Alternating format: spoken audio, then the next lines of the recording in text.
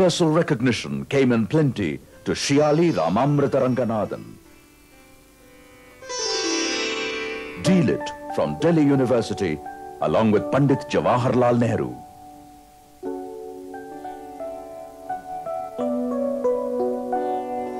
Doctorate from Pittsburgh University.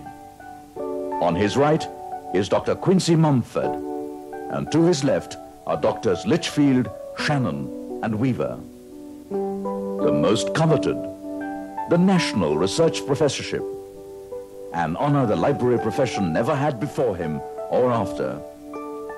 Others who shared such a distinction were Sir C.V. Raman, Dr. K.S. Krishnan, S.N. Bose, Kane. What was the secret of this man, whose centenary is being celebrated worldwide?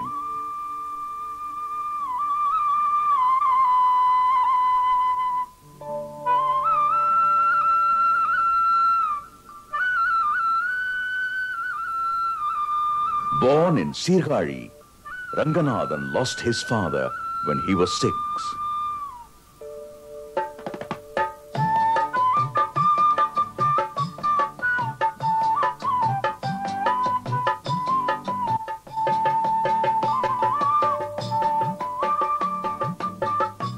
Spent his early childhood in Ubhaya Vedantapuram, a peaceful village on the river Kaveri's delta home of many an intellectual.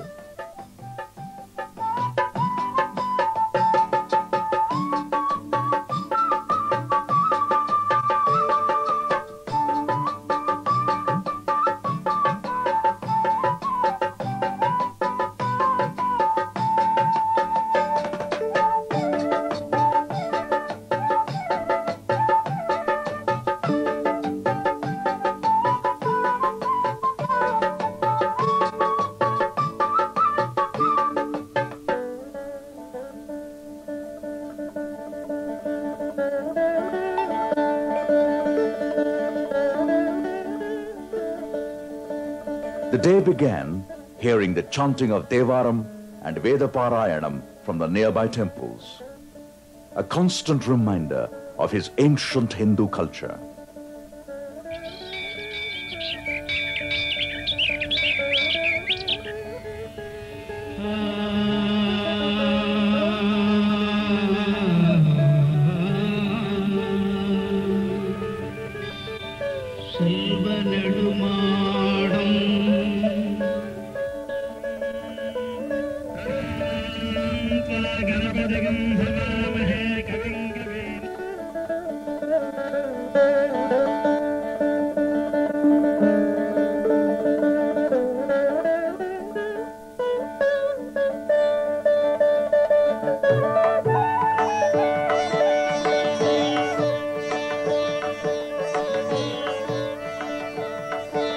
Sabanayaka Mudaliar's Hindu high school in the small temple-rich town Sirkazhi.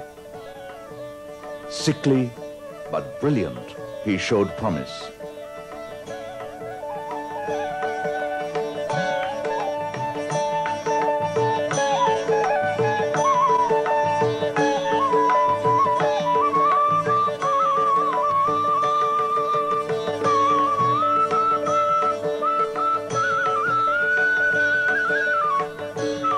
Mid-19th century saw a cultural renaissance in India.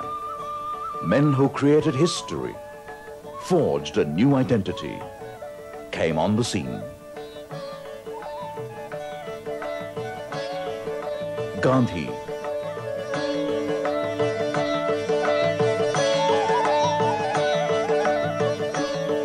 Dada Bhai Naoroji, Tagore, Ramanujan, Sri Aurobindo, V. Krishnaswamy Iyer, Bharatiyar, C.V. Raman, and Ranganathan. In 1909, Ranganathan came to Madras, studied at the Madras Christian and Teachers Colleges.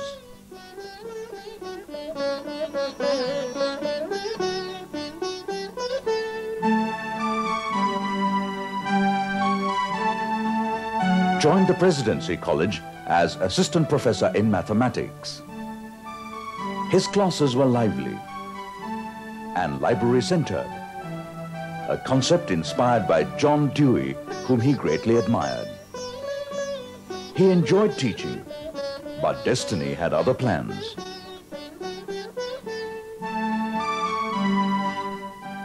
A reluctant Ranganathan joined the University of Madras as librarian.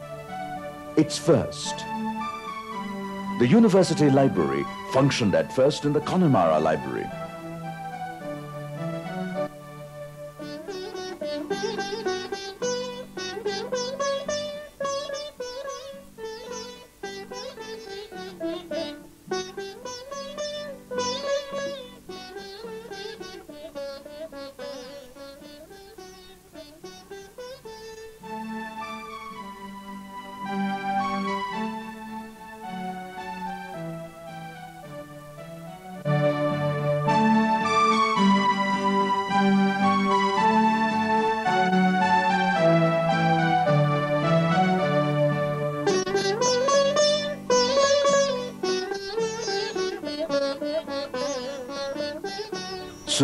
Sent to England for training. Berwick Sayers, his teacher in London, and the public library services in Croydon and elsewhere opened a new world to him. Coates, Foskett, Palmer, librarians, later fascinated by him. Back home, his work became a mission. Libraries as agents of social change and growth. And in May 1928, the library moved to the Senate House.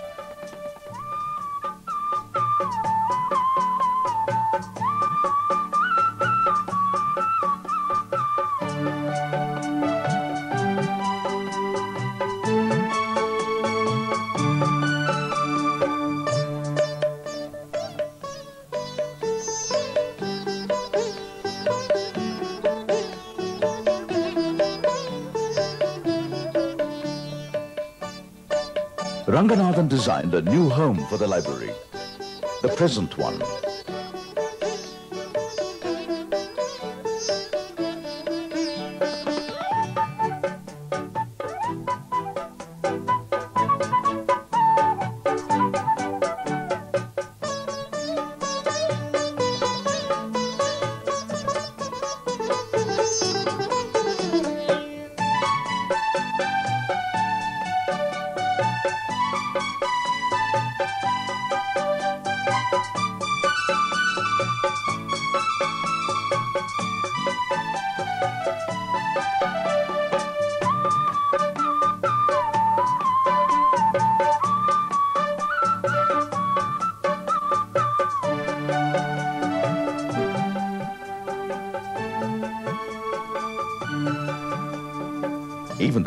On which he hardly sat. Always on his feet, helping readers. Most of his fundamental work was done in Madras. His ideas spread throughout the library world.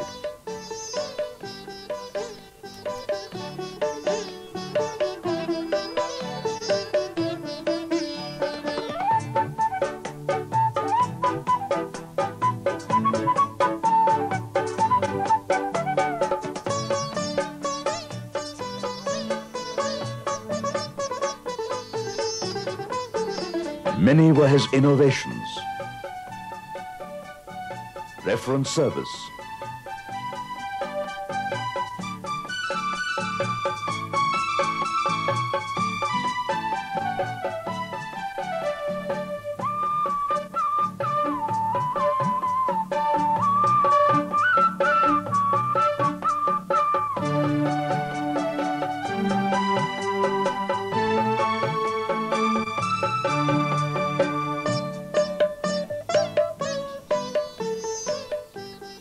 Open access system.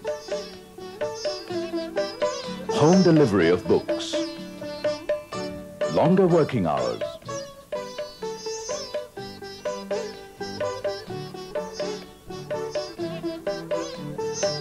Experimenting with new ideas, Ranganathan formulated the five laws, which he publicly announced at the Meenakshi College, the nucleus of Annamalai University.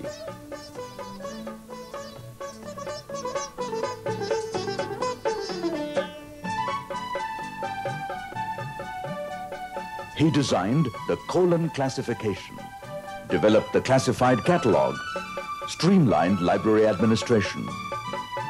The Madras Library Association was founded for creating library awareness, for promoting the library movement, library legislation, conducting training courses. Several publications and memoirs were published.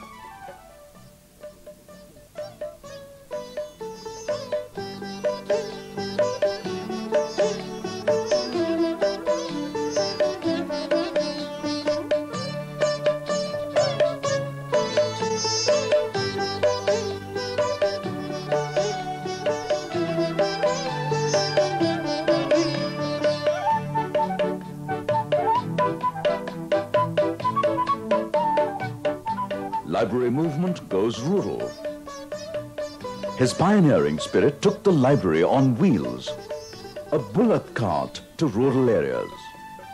The first step in adult education. An idea far ahead of its time.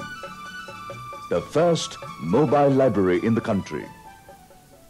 Dr. Ranganathan was a very active member of the Indian Adult Education Association and also the Delhi Corporation Department of Urban Community Development, which adult education was called at that time. There, his main emphasis was to produce literature for the new reading public. By new reading public, he meant the new literate plus the dropouts from the primary schools. These two groups constituted the new reading public.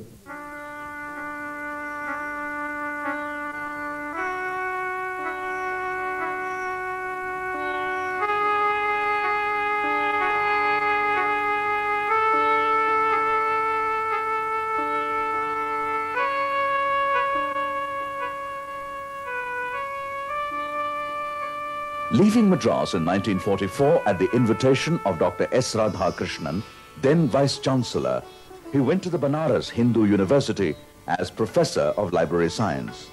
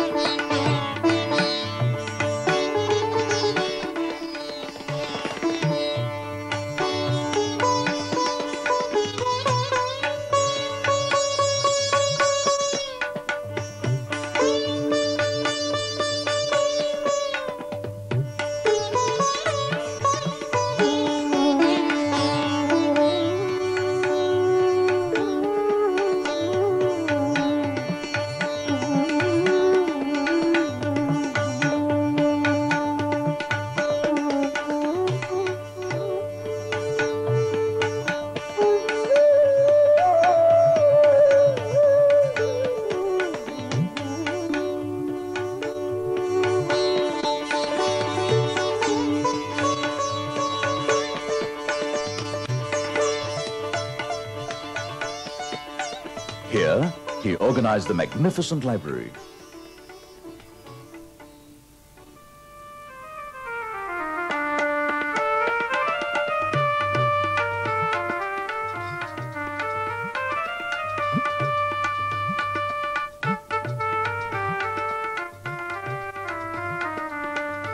And then came another invitation from Sir Maurice Gwyer, Chief Justice of India and Vice Chancellor, to join the University of Delhi.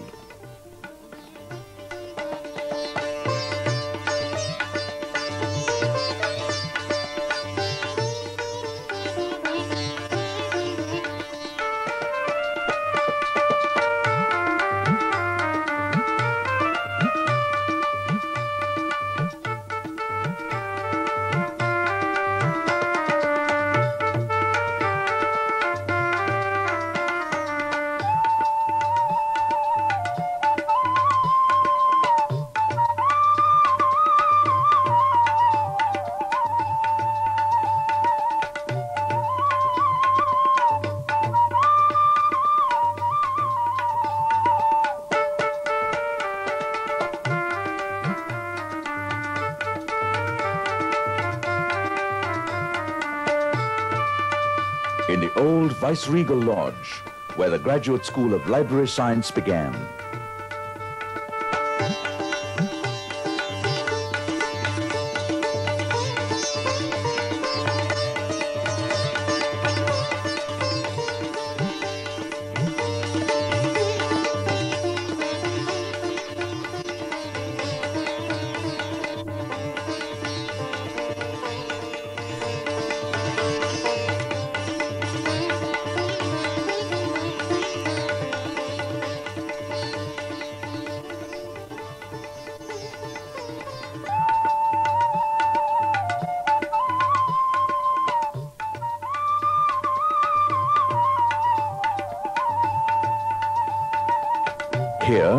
Developed the Department of Library Science and designed courses leading to higher degrees. He established the Department of Library Science at the university. He also started the Master of Library Science and PhD programs. The, these were two courses which were started for the first time in the whole of Commonwealth.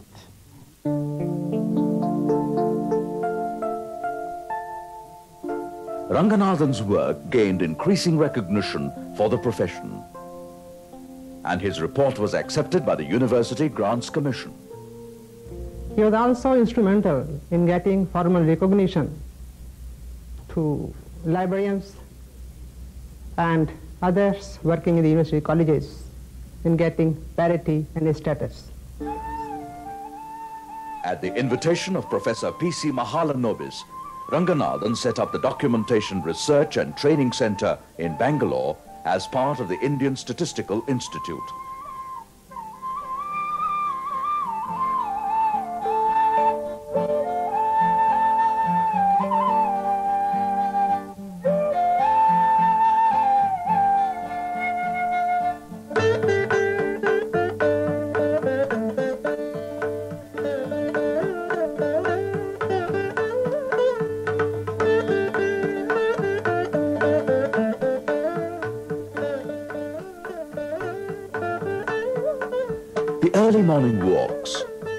From his house, Sharada, a daily routine.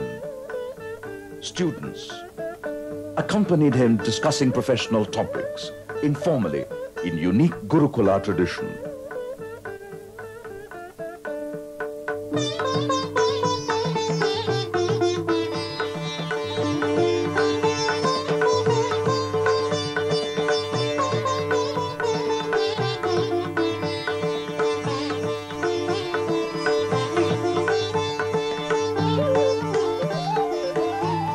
DRTC later moved into its sprawling new campus on the road to Mysore.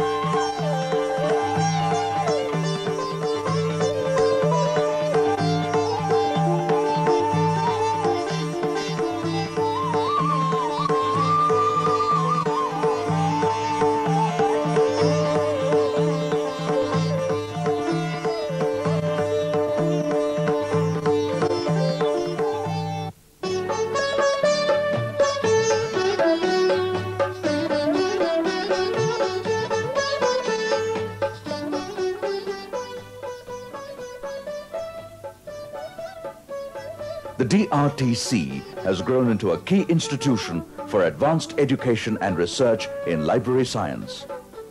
A significant contribution to information retrieval and information support to industry.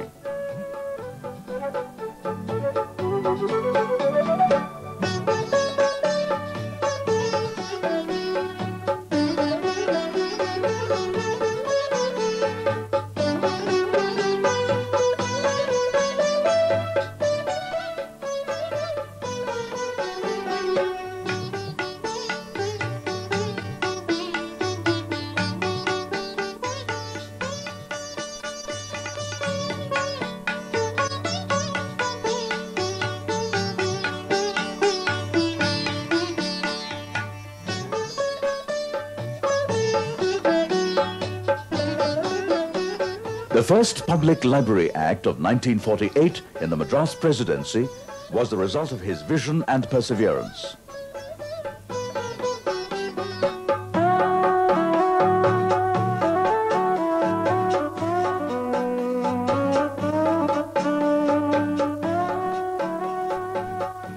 Other states like Andhra and Karnataka followed.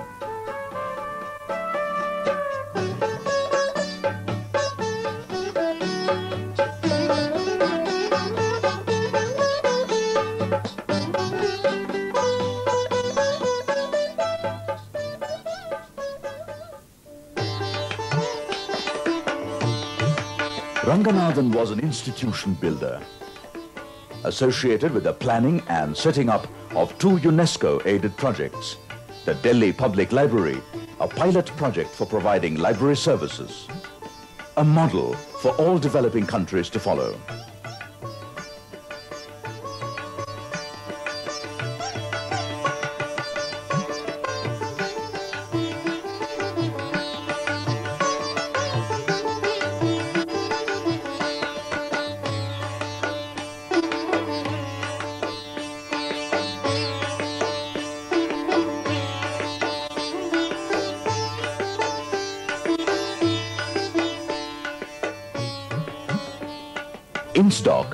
Started in the National Physical Laboratory and is now in its own building, providing a wide range of documentation and information services for scientific and industrial research.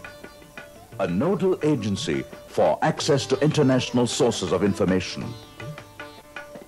Ranganathan, as a thinker and writer, remains unique.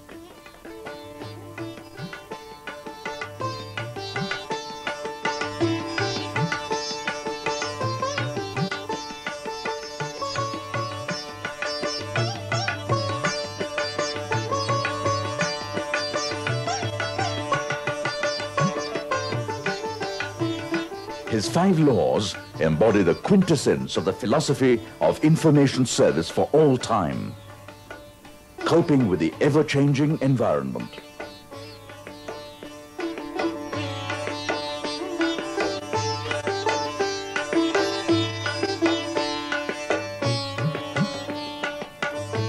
The analytico-synthetic approach to knowledge organization in his colon classification, which was translated into Chinese, Russian, and other languages, indexing techniques and query analysis have found applications in the British National Bibliography, British Technology Index, in modern information retrieval and knowledge-based systems.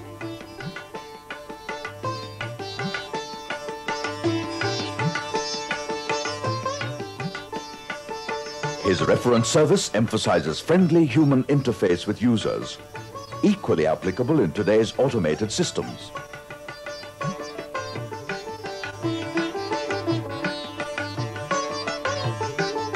Library administration provides a systematic micro-analysis of library activities, job analysis, and ergonomics.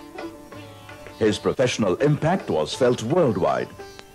He was invited by several institutions, the UN, Rockefeller Foundation, UNESCO,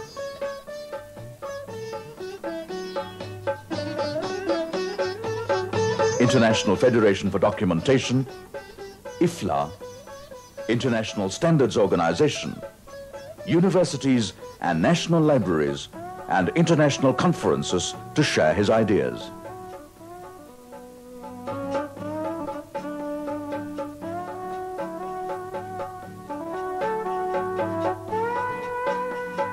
Ranganathan prepared plans for a national library system, model library acts for various states, founded many library associations, launched professional journals, Annals of Library Science, library science with a slant to documentation. Ranganathan contributed a lakh of rupees for establishing in Madras University the Sharada Ranganathan Chair of Library Science, first of its kind in the Commonwealth. The Sharada Ranganathan Endowment for promoting research, conducting training courses, and arranging annual lectures. What impact did his mission have on some of his contemporaries and colleagues? That uh, concept uh, had great relevance not only in mathematics for Ranganathan, but also in library science, where he imagined a library focuses attention on one very important aspect, namely that knowledge is one and indivisible. And uh, there can be no fragmentation or atomization of knowledge. Basically, knowledge is structureless, which Ranganathan himself said. It's like water. The structure knowledge takes according to the container or the receiver. So, what he believed was that knowledge is uh, can flow from seminal level to phenomenal level, whereas knowledge at seminal level is a kind of a unity, whereas uh, when you look at phenomenal level, that is distribution of knowledge at various points of use, it's a diverse one. Ranganathan's conception of a library is that it is a very powerful instrument for social progress. And the most uh, human service which he has thought of is the reference service. Then he was also saying that uh, the, on account of the volume of uh, publications that are outpouring and the way it has to be organized, he was really anticipating the advent of information society and all these techniques and other things are designed to take care of the challenges of the new information age. For one thing, because I think Sir Maurice Gwyer, who invited Ranganathan to reorganize the Delhi University Library, at that time he must have come to form a first-rate opinion of Ranganathan's abilities, his attainments, and his convictions. We talk of zero, we talk of infinity. The concept of infinity, the concept of zero, and the concept of the Atman and Paramatman can only be comprehended by mathematics. God must have been a mathematician, somebody said. So also I would say God must have been a librarian. His was not a success story all the way. Many things he had hoped for still remain unfinished. But his life was one of total dedication, sacrifice, and faith in education and libraries as instruments of human progress.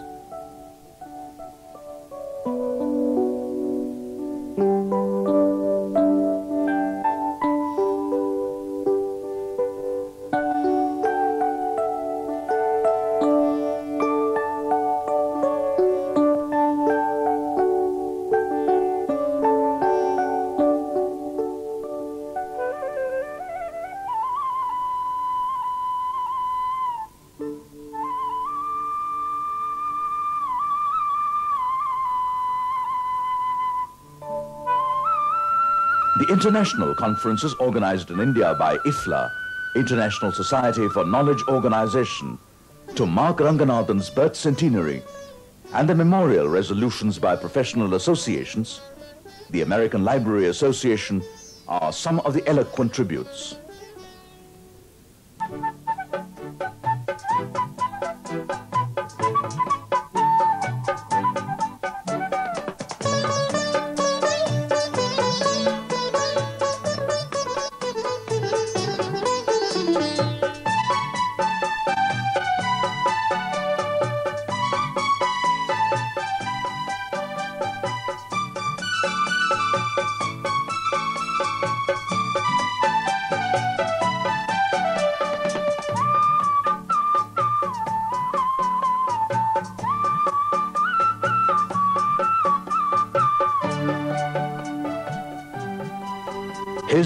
Vision of library and information service as a dynamic force to preserve and promote moral and democratic values, enhanced productivity in research and industry, develop human potential, and raise the quality of life.